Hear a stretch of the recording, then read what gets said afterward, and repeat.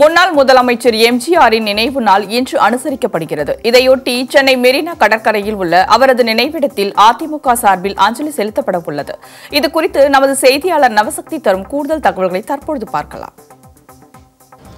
பாரத ரத்னா புரட்சி தலைவர் டாக்டர் எம்ஜிஆர் அவருடைய முப்பத்தி ரெண்டாம் ஆண்டு நினைவு நாள் வந்து இன்றைக்கு அனுசரிக்கப்படுகின்றது.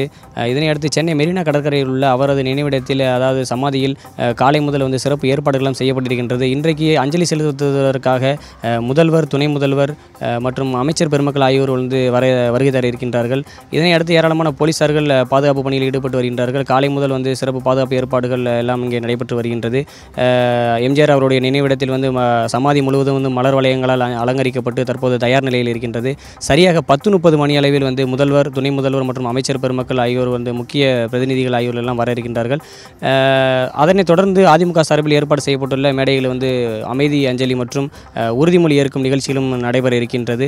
அஹ், அதனுடைய நேரடி காட்சியை நாம் தற்போது பார்த்து வருகின்றோம்.